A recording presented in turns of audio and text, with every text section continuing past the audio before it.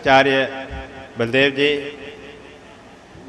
अभी सभी आए हुए सन्यासी वृंद विद्वत मंडल तथा बहनों और भाइयों, मैं बड़े लंबे लंबे भाषण हो चुके हैं और भाषण देना नहीं चाहता केवल आपको आज के इस शुभ अवसर पर, सार्वदेशिक सभा के 100 वर्ष पूरे होने पर आपको हार्दिक बधाई देता हूँ।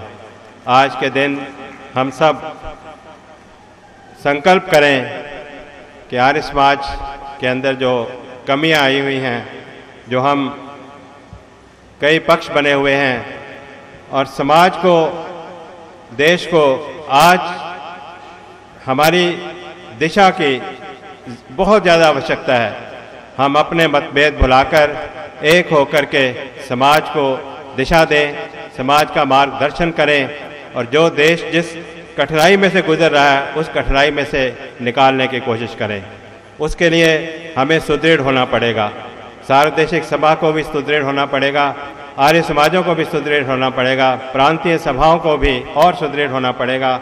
मैं ईश्वर से प्रार्थना करता हूँ, ईश्वर हमें बुद्धि दे, शक्ति दे, हम और ऊपर उठें इन छोटी छोटी बातों को छोड़कर, इनसे ऊपर उठकर, जो काम महर्षि दयानंद ने स्वप्न लिया था, उसे पूरा करें। देश को आगे बढ़ाएँ, देश को दिशा दें। धन्यवाद।